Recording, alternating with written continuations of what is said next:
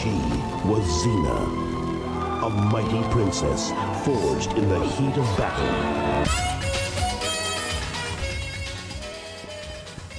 لقطات عشوائية من مسلسلات وأفلام أجنبية تعتبر جزءا محوريا من الثقافة الشعبية لأجيال عدة فهي تمثل أداة للتبادل الثقافي ساعدت في تقارب الشعوب بطريقة غير مباشرة. ولا بغضب عليك طول حياتي. بنت لبنى؟ أيوه. ركز كده. لبنى عندها بنت يا لؤي.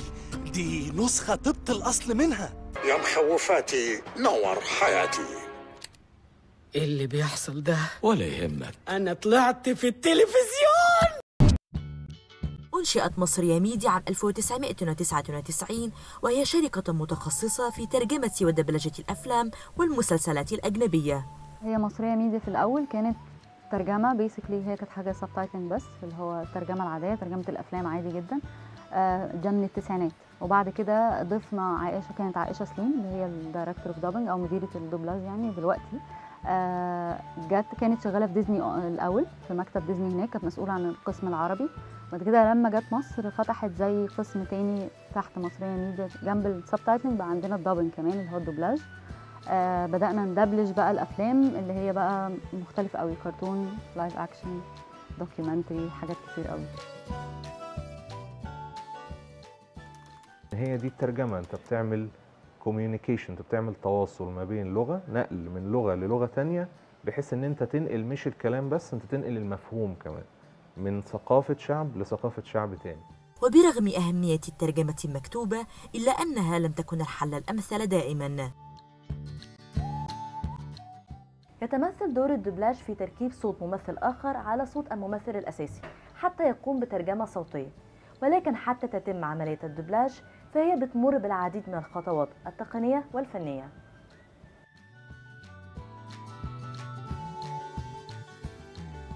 ولا تكتمل عملية الدبلجة إلا بوجود مخرج وممثل ومهندس صوت ومراجع لغوي. ممكن أن تكوني مديرة الفريق؟ يلا. وسنتحدث لاحقا في هذا. Okay يلا اتفضلي أنا بدخل الاستوديو ومعايا ال- الورق السكريبتات بتاعه الفيلم أو المسلسل اللي إحنا داخلينه.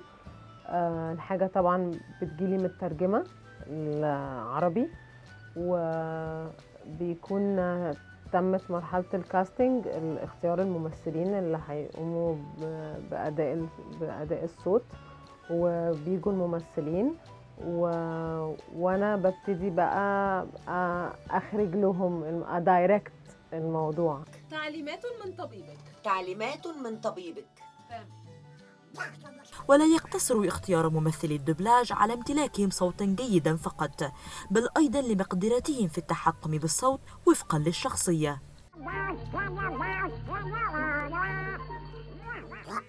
توقفت عن ناس كتير جدا يع- يعتقدوا إن هم لما يقعدوا قدام المايك إيه إيه المشكلة يعني؟ يعني عادي سهل بالعكس. أنا شايفة ان الدوبلاج آه، أصعب من إنك تمثلي سواء فيديو أو أو حتى مسرح. لأن انت مطلوب منك في زمن محدد تطلعي انفعال بعينه وإحساس. آه، لازم تبقي مدركة تماما انت بتقولي إيه لأن الموضوع فيه سينك.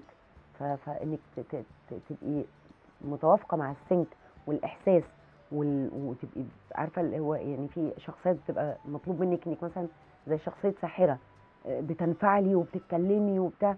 ففي هنا سنس عالي جدا فان انت تظبطي ما بين المايك وما بين احساسك وما بين أدائك وما بين الأداء اللي المخرج عايزه وال sync نفسه على الشاشة ده مسألة مش سهلة ابدا. ابتعدوا أيها الوحوش لا تقتربوا.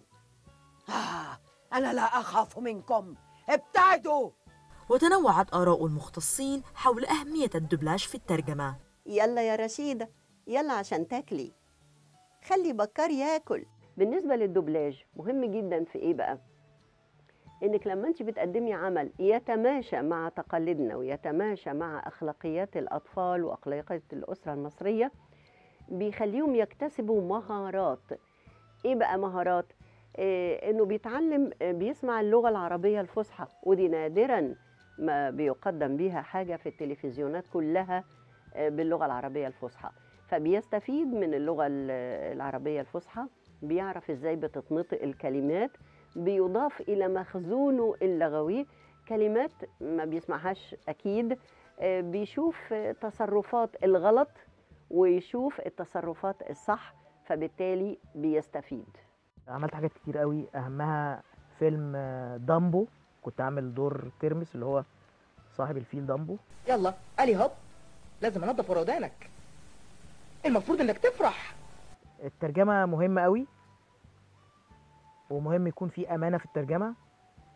إلى جانب إنه آه، الحفاظ على ثقافتنا وعاداتنا وتقاليدنا إنه آه، ما ينفعش نترجم حاجة بتاعتهم ما تنفعش عندنا هنا.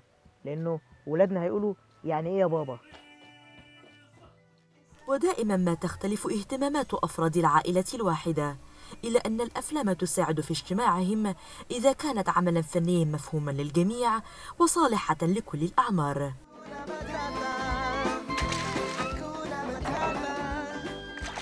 سلمى نادر لتلفزيون الجامعة الأمريكية القاهرة.